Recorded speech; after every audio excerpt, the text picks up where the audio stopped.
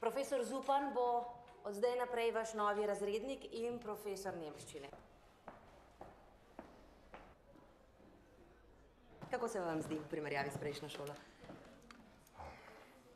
Drugače. Od danes naprej bomo delali malo drugače. Mozart hat schon mit fünf Jahren gewusst, was er will. Robert je prestrog z njimi Zdenka. Res se ne zna obnašati. A res. Biti dijak. To ni pravica, to je dolžnost. Dobrodošel v 21. stoletju. Prej so se oni nas bali, zdaj se pa mi njih, tako je to. Auf Deutsch, bitte? Do konca furate to nemščino in pridige in ste pametni do konca. Pa kaj je to za vas, futbal tekma ali kaj? Mogoče pa pedofili. Kaj pa veš, kaj je delo tam njim? Treba bo nujno nekaj spremeniti, to čim prej. Vaše sošolke Sabine ni več. Naredila je samomor. A bomo res imeli uro, ali kaj?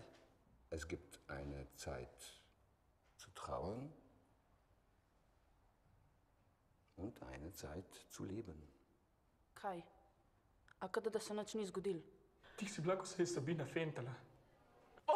Nisi Sabine, dokler ni umrla. In jim povrh vsega reče še Leben geht weiter. Das Leben geht weiter. Kakorkoli. Pa kaj, če se je Sabina ubila, se moramo zdaj vsi s tem ukvarjati, ali kaj? Kaj? Vi Slovenci, če se ne povijate sami, se pa med sabo. Auf Wiedersehen.